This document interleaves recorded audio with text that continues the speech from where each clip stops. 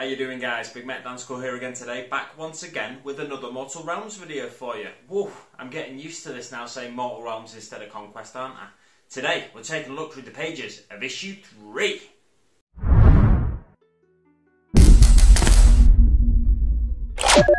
But before we get started, I want to remind you that you can support the channel through Patreon. Um, I've got my third patron now, uh, which is absolutely fantastic. It's Splinter. Um, it's a an immortal um, an immortal sponsor level pledge as well. So that means um, it's going to go towards issue six. Um, so I've got issue five and issue six sponsored, but there's plenty of issues after that you can sponsor if you wanted to sponsor um, one particular episode of the Mortal Realms series. However, if you just want to pledge at a lower level, just um, to help out the channel anyway, uh, you can pledge at a $1 level or a $5 level. There is going to be some exclusive content. I've already got one video up on Patreon. Um, but it's going to be more like casual stuff rather than hobby related stuff. It's going to be more behind the scenes, getting to know me kind of stuff. Um, at the minute, I've had the idea for a coffee tasting. Um, I give my thoughts on the coffee. It's just a bit of fun, um, a bit more vloggy style, and also um, potentially movie reviews down the line. Um, I say potentially, I plan on doing them, but I've not done any yet. it's been uh, a week. I didn't go to the cinema last week. Unbelievable. I go almost every week. Anyway, you're not here for me rambling on about my Patreon, are you? No, you're here for Mortal Realms. Issue 3. What do we get in issue 3? Well, we get three castigators and a Gryph-hound. Um, so, the models in the issue, three castigators and a Gryph-hound, they're easy to build models again. Um, as, same as last week's easy to build models for the Nighthaunt. Um, however, we get four in this one. Uh, we get a little beastie, a Gryph-hound. It's like it's got the body of a cat kind of thing, a cat or a dog, and then the head. Well, Gryph-hound would imply dog, wouldn't it? And then the head of an eagle. Um, so it's I really do like some of the creatures that have come in model form in Age of Sigmar, whether it's the Orc Maw-krusha or like the Star Drakes and some of the newer Stormcast models. Um, I really like some of the beast models that we've seen so far. Um, and that's one thing that I do really like about Age of Sigmar, um, but I also really like the lore. Uh, and there's plenty of that in here, so let's crack on with the issue. So we get Castigators and a Gryph-hound, painting Stormcast Eternals, and shooting playthrough. The uh, easy to build models themselves are £10, and the we get a pot of paint with the magazine as well, which is £2.75 pot of paint if I remember rightly, it's the Retributor Gold. Um, and so therefore the issue has a total value, or the items that come with the issue has a total value of £12.75. Um, so we're making a decent little saving there, um, almost a 50% saving, or no, it is a 50% saving on buying those items separately. Um, turning to the first page, what do we get?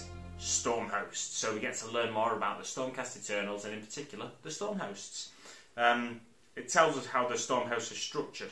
Uh, Stormcast Eternals are organised into fighting forces known as Stormhosts.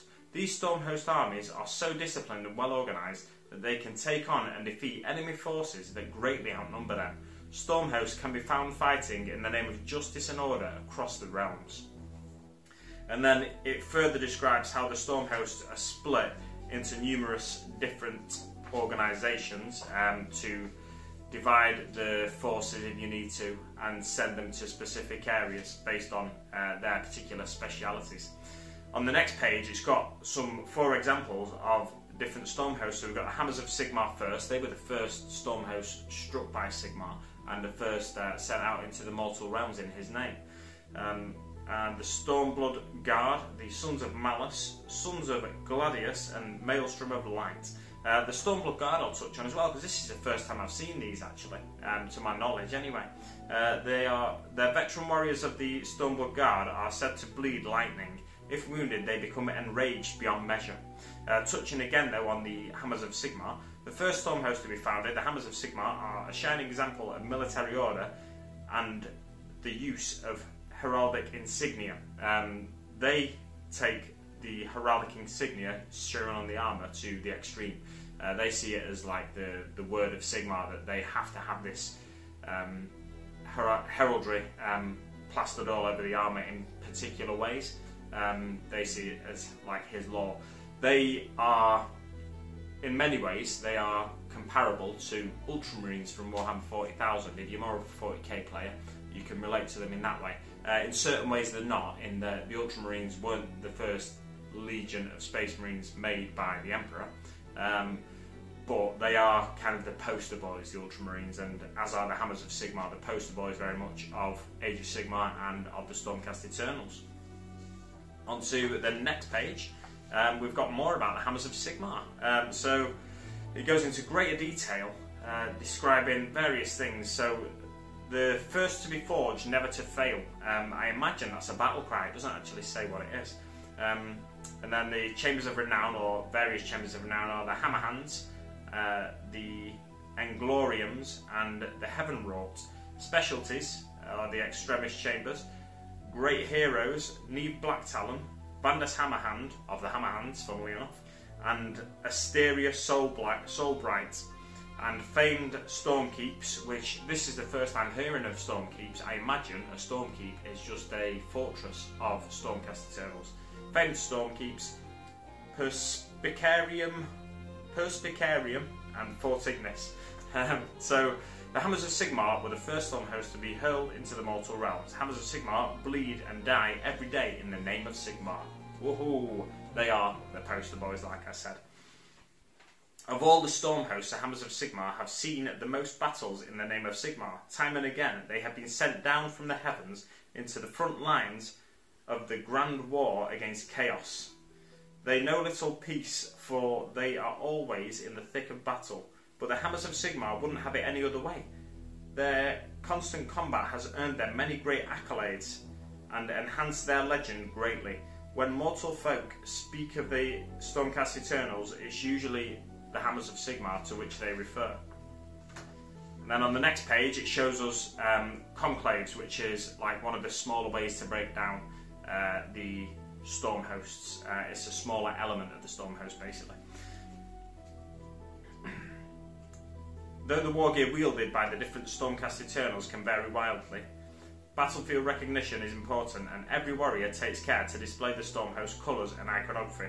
The Hammers of Sigmar stick rigidly to these rules, considering them to be Sigmar's will, as I said on the previous page. And then it shows us some examples of various different warriors and how they display their heraldry.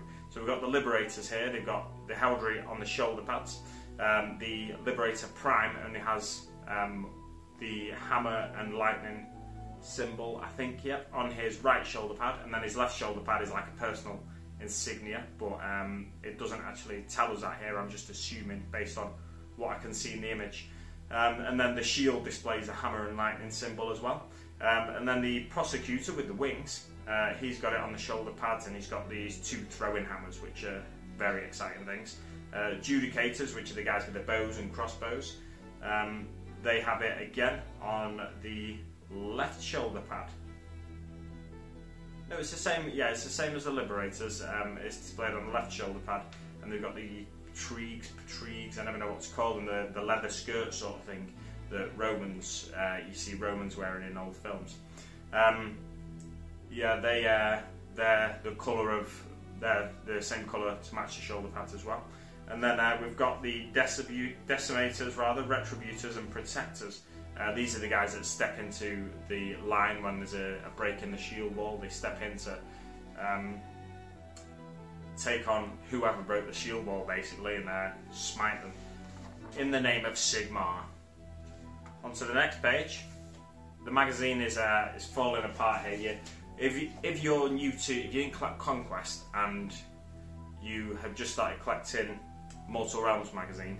Don't worry about the magazine falling apart. It's designed to come apart, um, so you can. Uh, it's got these holes in the like here uh, that have been punched in the pages, and it's designed to go into a binder in a very particular way. Anyway, Stormcast Eternal Castigators. Castigators are are powerful range troops that support their allies with devastating weapons known as Thunderhead Great Bows. These magical bows fire bolts that can strike even the ghostly warriors of the Night Haunt, blazing the spirits apart in an explosion of blazing blue light, or rather blasting the spirits apart in an explosion of blazing blue light. A single volley of fire from a group of castigators can banish dozens of murderous spirits in seconds. Um, so yeah, they have these magical crossbows with magical boats, boats, bolts, um, and the bolts actually contain the breath of a star drake. What's a star drake? I hear you ask. Well, it's a giant dragon creature that the Stormcast Eternals sometimes ride into battle. Um, and yeah, they uh, do this ritual at dawn. Um, the castigators seek the help of Extremis Chamber Star Drakes whenever they return to the realm of Azyr. In a quiet, respectful dawn ritual, the castigators arrange their thunderhead maces into 12 into a 12 point star shape. The star drakes then exhale their storm cloud breath onto these weapons, filling them with destructive power. In doing so, the star drakes honour their own forefather, Almighty Dracothion, the Great Drake. It was Dracothion who breathed new life into Sigmar before he arrived in the mortal realms. Turning to the next page, we've got Nighthaunt. So it's not all Stormcasts in this issue if you were a little worried. Um, what happened in Conquest was typically you got a little bit about both factions, and sometimes you got something about a third or even fourth faction. So the Nighthaunt processions. It tells us about Lady Olynder, the Mortarch of Grief, grief rather, and um, it shows a picture here of her leading the Nighthaunt to war. After the Necroquake, the Nighthaunt attacked the living in a blind rage. Nagash appointed a new commander for his ghostly forces, Lady Olynder, Mortarch of Grief. Grief. Thanks to her great power, Nagash is able to order his ghostly armies wherever they are needed. Flicking over to the next page, uh, it breaks the Nighthaunt processions down in greater detail in much the same way that it did for the storm hosts of Sigmar.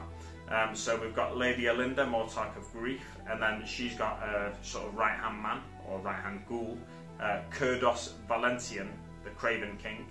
And then below them two, you've got the Shroud Guard, uh, the Knights of the Shroud, and the Bladegheist Revenants. And then lots of lesser ghosts and ghouls beneath them. Uh, we've got Death Riders, which contain Hex Wraiths, Doomblade Harrows, Black Coaches. Spirit Torments are in the Condemned, as well as Chainrasp Hordes and um, Chain Ghasts. The Chain Guard contains Chainrasp Hordes again and Guardians of Souls, Execution Hordes, and so on and so forth. The next page we've got how to build Castigators and Gryph-hound. Um, so this just shows you briefly how to build the Castigators and Gryph-hound. Great news is we still don't need any glue um, because these are all push fit models up to now, which is very exciting and very encouraging for the new hobbyist, I'd say. And then on to the next page, we get how to paint Stormcast Eternals. Uh, we've got two paints so far. We are going to use one paint for the Stormcast Eternals and one paint for the um, the Gryph-hound. Uh, the Gryph-hound is going to be painted white primarily, and the Stormcast Eternals are going to be painted completely in gold. And then you get a nice picture of how they'll look after three thin coats of um, the the techniques they're showing us. Um, yeah, doing three thin coats. If you missed my last video, doing three thin coats basically gives you a nice smooth finish. If you try and apply a coat without watering it down, a coat of paint without watering it down, you can get brush strokes in there and then it, it detracts from the overall look of the miniature at the end. The fighting escalates. Reinforcements. Anastasia Starstrike and her sequitors are being swarmed by evil spirits. Thankfully, reinforcements have arrived in the shape of a unit of castigators. Accompanied by a deadly Gryph-hound, these warriors provide covering fire, allowing Starstrike's warriors to fall back and regroup. The Nighthaunt, meanwhile, continue to gather in the darkness, moving in for the kill. So, over the course of the next few pages, it shows you how to use shooting attacks in Age of Sigmar. Um, one of the things that has led to me never really going near Age of Sigmar is because there weren't too many shooter units in the game. Um, I like having shooting units. I'm, I'm, i like the idea of futuristic warfare rather than um, historical or fantasy warfare. Um, for some reason, I don't know why. I'm just more drawn to that. I watch more sci-fi than fantasy on TV. It's probably just more what I'm into. Um, yeah, so having shooter units is important to me in a game. So that's one reason that I've not really gone near Age of Sigmar. But there's more and more each new release. There's more and more shooting units available for various factions. Some factions will never get shooting units probably, but um, they'll get some form of uh, ranged attack, it, whether it's um, a weapon on a chain or it's a, a, spell weapon, something like that, or a spell being cast rather. Um, so there's there's always more often than not there's a way to get a ranged attack with each army. Um, anyway, so range support arrives. It tells you what you'll need as it has done in the previous issues, and then it tells us that the castigators attack.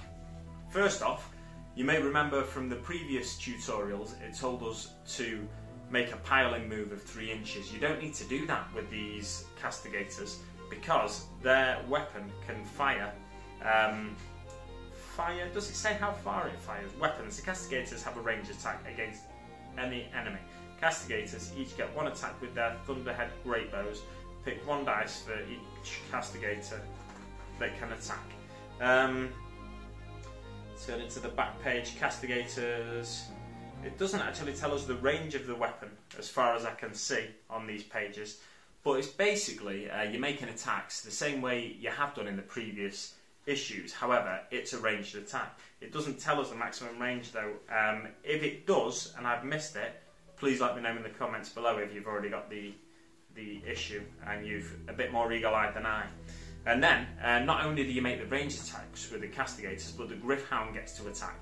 So after the castigators have fired, the Gryph-hound gets to make its own piling move, and it gets um, gets two attacks, uh, two attacks hitting on threes. So in these examples, uh, the castigators themselves take out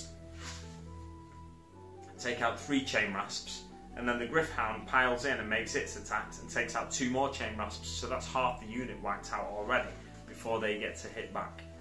Um, unfortunately, in these examples, uh, they completely surround the Gryph-hound and they get two attacks each. And because they get two attacks each, so the high probability they're going to kill the Gryph-hound. Uh, so they kill the Gryph-hound, and then it says play it out till completion, uh, till one side has all of its models wiped out. It's just simple stuff, simple instructions, getting you used to um, used to some of the mechanics of the game. Uh, not only that though, but it says afterwards, feel free to swap the castigators for sequitors or the chain rasps for banshees and play through the examples again. Um, the rules you will need in order to do this are below, and then it gives you examples of the rules. Castigators, 2 damage, remove 1 model, attacks dice. Yeah, so it doesn't say the range of the, the maximum range of the weapon of the castigators, uh, the Thunderhead Greatbow. Um, however, one thing I will say is, it says feel free to take swap the castigators out for sequitors. If you do that, you're not making any ranged attacks, so you're not really learning anything else. You're just uh, going through the motions again. Um, so I'd just be more tempted to swap out the Nighthaunt models for the um, Myrmourn Banshees um, and see how they go against the castigators. Anyway, that's enough for this issue. It's more or less done. What are we getting in next week's issue? Well, we're getting Glaive Wraith Stalkers. These boys have big spear type weapons and there's a drummer as well. Oh, it's very exciting. They've got sort of horse heads um, or rat heads maybe. They've got quite a, uh, a ratty, ratty-like maw there. Um, we're also getting Nihilakh Oxide and a large battle mat. Oh, it's going to be bigger than the one we've got already. And then the following week, in issue 5, we are getting Zandria Azurbolt. Ooh, she is the exclusive model for Mortal Realms. Um, she looks familiar to me, though. She looks a bit like. Um, it's probably not this model, but there was a magazine you could buy when you were just getting into Age of Sigmar, and it came with a, a sort of um, a model very much like this. Um, probably the same same unit type, uh, but a different character name. I would have thought. Um, anyway, yeah, that's that's it for this week. That's it for next week and the week after. Let me know what you think in the comments below. Um, do you think it's good value?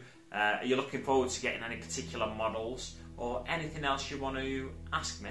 Don't forget to check out my Patreon, as I said. Uh, there'll be a link in the description below. I'll try and remember to pin a comment as a link as well. Um, yeah, that's it. Thanks so much for watching, guys, and I'll see you on the battlefield.